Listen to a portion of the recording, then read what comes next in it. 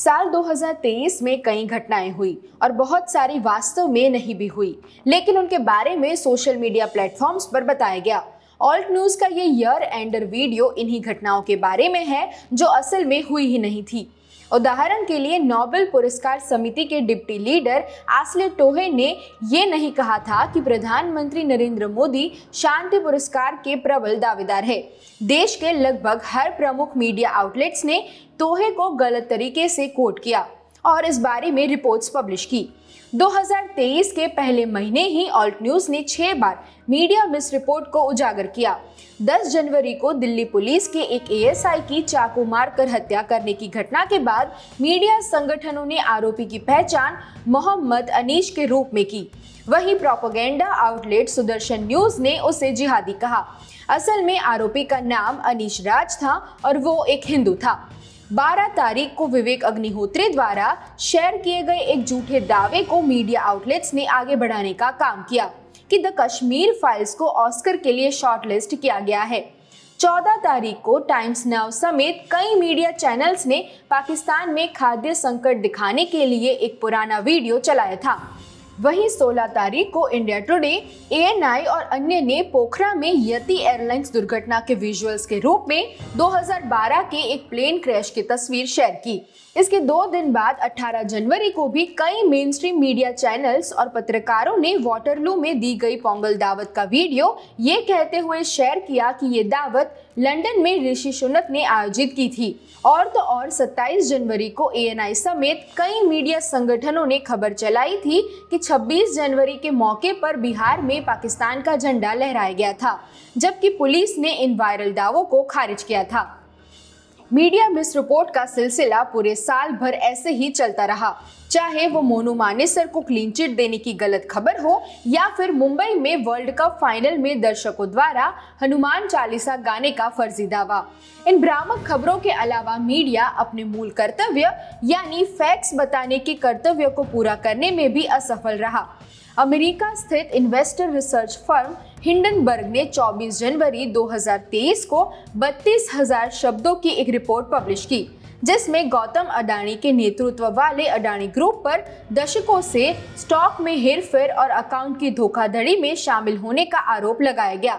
इस बीच सीएनबीसी ने रिपोर्ट किया कि कंपनी को हिंडनबर्ग रिपोर्ट पब्लिश होने के एक हफ़्ते में 100 बिलियन से ज़्यादा का नुकसान हुआ। तकरीबन सारी मेन स्ट्रीम मीडिया चैनल्स ने 25 और 26 जनवरी को हिंडनबर्ग पर रिपोर्ट नहीं करने का फैसला किया था। हालाँकि 2023 में टीवी न्यूज़ का सबसे लो पॉइंट रिपब्लिक टीवी की श्वेता त्रिपाठी का बिपरजॉय साइक्लोन पर किया गया ये बुलेटिन था। ये रिपोर्ट सिर्फ़ तथ्यों के हिसाब से ही नहीं, बल्कि प्रेजेंट करने के मामले में भी अनुचित थी। ओडिशा में 15 जून को टकराए साइक्लोन के घंटों बाद एंकर ने स्टूडियो में छाता लेकर रिपोर्टिंग की। मानो वो तूफ़ान में फंसी हो। इसका नतीजा ये हुआ कि ये रिपोर्टिंग का क्लिप मज़ाक बनकर रह गया। और ये दयनीय भी था क्योंकि टीवी पर एक प्राकृतिक आपदा को व्यंग्य के रूप में शेयर किया गया। और श्वेता त्रिपाठी की ये रिपोर्टिंग मीडिया में होने वाली हर गलत चीज़ का एक प्रतिरूप बनी। फरवरी में कथित तौर पर बजरंग दल के गौरक्षकों द्वारा दो मुस्लिम लड़कों की कथित हत्या पूरे देश में चर्चा का विषय बनी। इस खबर के सामने आने के ठीक पहले ऑल्ट न्यूज़ ने इस घटना के मुख्य आरोपियों में से एक, मोहित, यानी मोनू मानेसर के बारे में बताया था। हमने सोशल मीडिया पर देखा कि मोनू गाड़ियों के माध्यम से पीछा करने से लेकर हथियारों का इस्तेमाल कर अपना काम करता था। और तो और मोनू के काम को स्थानीय अधिकारी से लेकर भाजपा नेताओं और पत्रकारों का भी समर्थन था। हालाँकि दो मुस्लिम युवकों की मौत की खबर सामने आने के बाद मोनू मानेसर को 12 सितंबर को गिरफ़्तार कर लिया गया था। हमारी छानबीन में हमें ये भी पता चला कि इस मामले में दो और आरोपी रिंकू सैनी और श्रीकांत पंडित का बजरंग दल से गहरा ताल्लुक था। वहीं हमने ये भी बताया कि हरियाणा में गौरक्षकों के पीछे बंदूकधारी गुरु आचार्य आज़ाद सिंह एक प्रेरित शक्ति के रूप में खड़े हैं। वहीं फरवरी, मार्च में सोशल मीडिया पर कई भ्रामक वीडियोस शेयर किए गए और दावा किया गया कि तमिलनाडु में बिहारी मजदूरों पर हमले किए जा रहे हैं। पुलिस ने कुछ मामले में केस दर्ज कर कुछ की गिरफ्तारी की और सोशल मीडिया पर भ्रामक जानकारी नहीं शेयर करने को लेकर अपील भी की। ऑल्ट न्यूज़ ने ऐसे छह वीडियोस की पड़ताल की, जिन्हें तमिलनाडु में प्रवासी मजदूरों पर हमला किए जाने के दावे के साथ शेयर किया गया था। और पाया कि ये सारे वीडियोस असंबंधित घटनाओं के हैं। लगभग उसी वक्त दैनिक भास्कर की ये फर्जी क्लिपिंग शेयर की गई, जिसमें कहा गया था कि मार्च 20 तक हिंदी भाषी मजदूर तमिलनाडु छोड़कर चले जाए।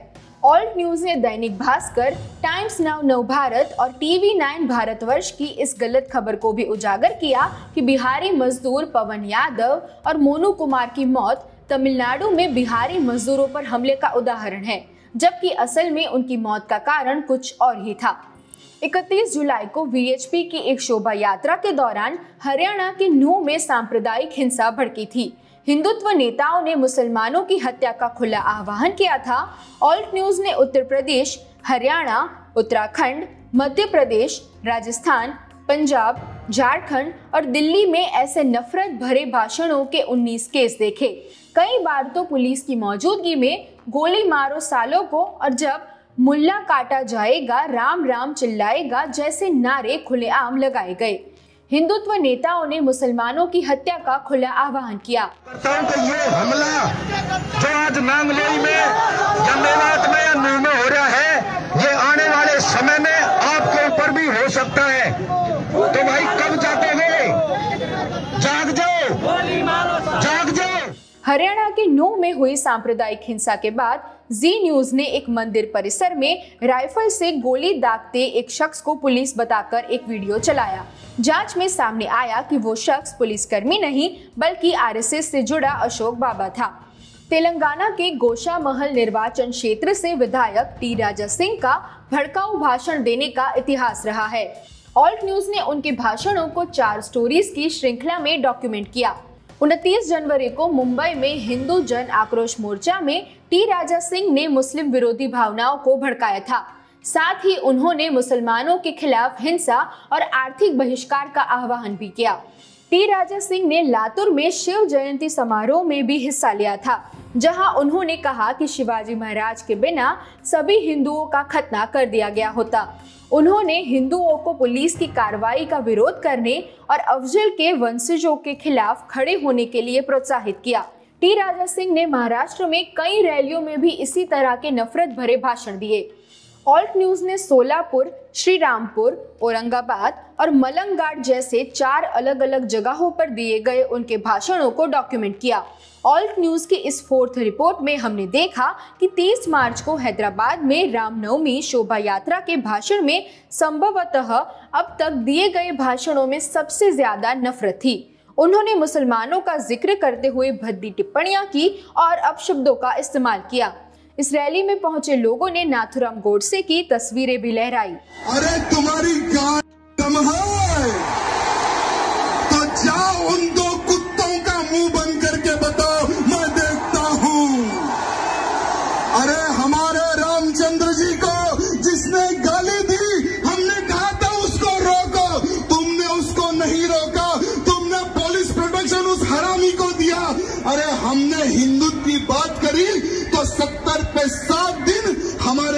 जेल में डाल दिया गया। अरे, सर पर कफन बाँध कर निकला हूँ। बस अब मेरा एक ही एक लक्ष्य है, मेरे भारत देश को हिंदू राष्ट्र बनाऊँगा। हालाँकि देखने वाली बात यह है कि एफ़ और कानूनी नोटिस का सामना करने के बावजूद भी टी राजा सिंह ने नफरत भरे भाषण देना जारी रखा। और फ़िलहाल वो एक विधायक भी है। हेट स्पीच के मामलों को डॉक्यूमेंट करते हुए ऑल्ट न्यूज़ ने सितंबर में right wing influencer Kajal Hindustani को डॉक्यूमेंट किया था। महाराष्ट्र में 5 जनवरी को काजल हिंदुस्तानी ने हिंदू महिलाओं के लिए रेड कार्ड की बार बार दोहराए जाने वाली थियोरी के बारे में बात की थी, जिसे पहले भी कई बार खारिज किया जा चुका है। हमारी हिंदू लड़कियों को जब हम समझाने जाते हैं तो कहती है कि मेरा वाला अब्दुल ऐसा नहीं है। मैं कहती हूँ कि अब्दुल हो या आफताब, पढ़ी है इसने एक ही किताब।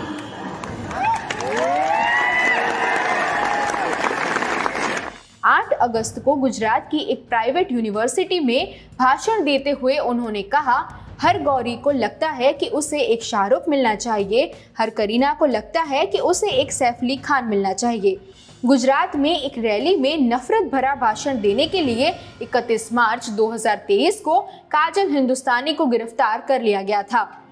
2 जून को उड़ीसा के बालासोर में हुए ट्रेन हादसे में कम से कम 228 लोगों की मौत हो गई। शालीमार चेन्नई कोरोमंडल एक्सप्रेस के 10 से 12 डिब्बे पटरी से उतर गए और बेंगलुरु हावड़ा सुपरफास्ट एक्सप्रेस से टकराकर दूसरे ट्रैक पर गिर गए। इस हादसे में एक मालगाड़ी भी शामिल थी। लेकिन इस तबाही के कुछ ही घंटों बाद इसे सोशल मीडिया पर कम्युनल रंग दिया जाने लगा। कई यूज़र्स ने हादसे के जगह की तस्वीर शेयर कर दावा किया कि यहाँ एक मस्जिद थी। यानी लोगों ने इस घटना के पीछे मुस्लिमों के शामिल होने का दावा किया। जबकि ऑल्ट न्यूज़ ने छानबीन कर पाया कि ये इमारत असल में एक इस्कॉन मंदिर था। हालाँकि इस दावे को सोशल मीडिया पर शेयर करने वालों में इस्कॉन के उपाध्यक्ष राधा रमन दास भी शामिल थे। कुछ दिनों बाद ये दावा चलाया गया कि बहनागा बाज़ार रेलवे स्टेशन का स्टेशन मास्टर एक शरीफ दुर्घटना के बाद से फरार था। ऑल्ट न्यूज़ ने इस दावे की सच्चाई सबके सामने लाई कि असल में अधिकारी का नाम एस बी मोहंती था और वो पूछताछ में था। वहीं और भी कई झूठे दावे इस घटना को लेकर एक साजिश बताते हुए शेयर किए गए। हिस्ट्री शीटर और पाँच बार विधायक रह चुके अतीक अहमद और उनके भाई अशरफ की प्रयागराज में 15 अप्रैल को पुलिस के भारी बंदोबस्त के बीच गोली मारकर हत्या कर दी गई। इस घटना का वीडियो फुटेज और चश्मदीद गवाहों ने दावा किया कि गोली चलाने वाले लोगों ने जय श्री राम के नारे लगाए थे। राइट विंग यूज़र्स ने इस दावे को गलत बताया। हालाँकि इस पूरे मामले में ऑल्ट न्यूज़ ने तफ्तीश की और पाया कि हकीकत में ये नारे लगाए गए थे।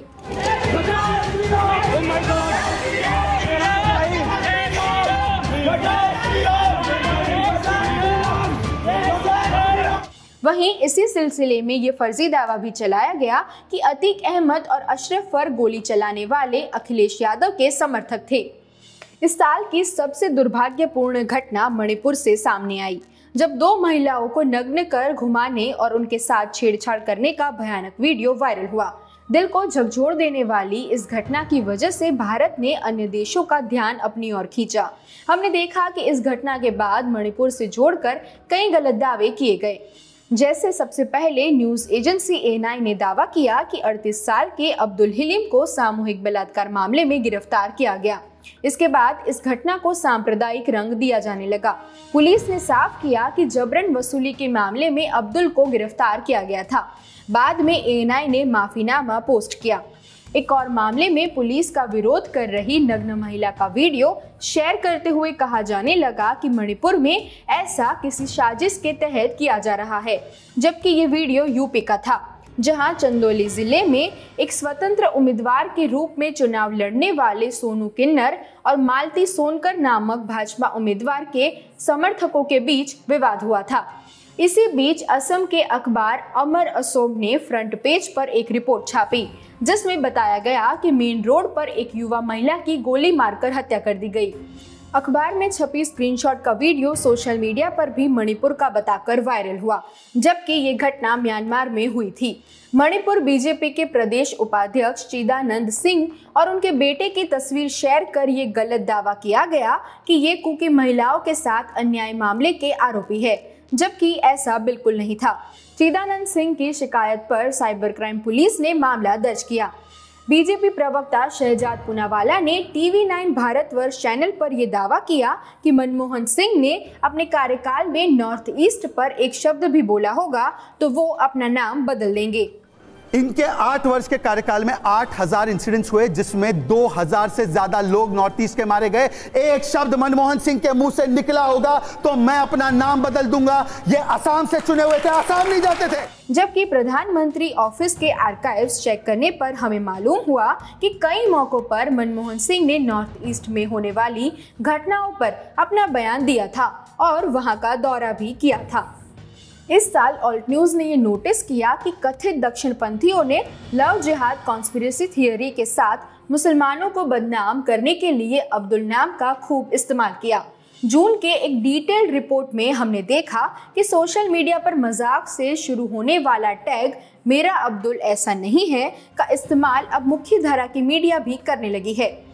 द वायर ने रिसर्चर देवेश कुमार पर मनगणन ब्यौरा पेश करने का आरोप लगाते हुए पुलिस में शिकायत दर्ज कराई थी और मेटा रिपोर्ट्स हटाने का फैसला किया था।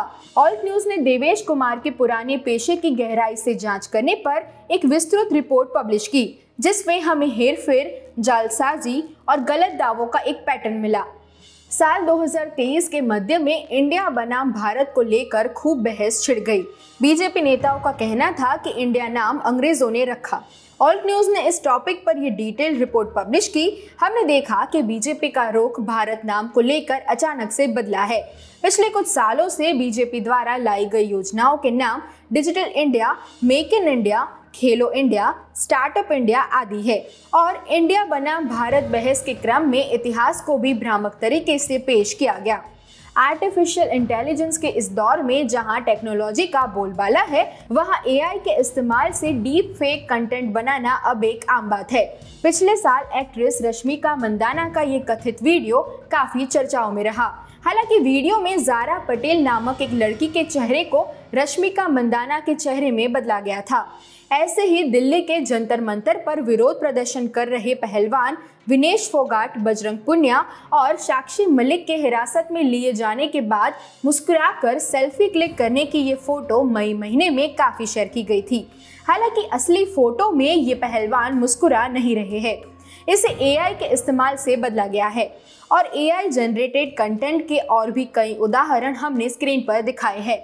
जैसे पीएम मोदी और राहुल गांधी की ये तस्वीरें कोई कुदरत का करिश्मा नहीं, बल्कि इन्हें भी एआई सॉफ्टवेयर की मदद से बनाया गया है। अब तक करीब तेईस हज़ार लोगों की जान लेने वाला इसराइल हमास युद्ध अक्टूबर और नवंबर के महीने में दुनिया भर में सुर्खियों में रहा।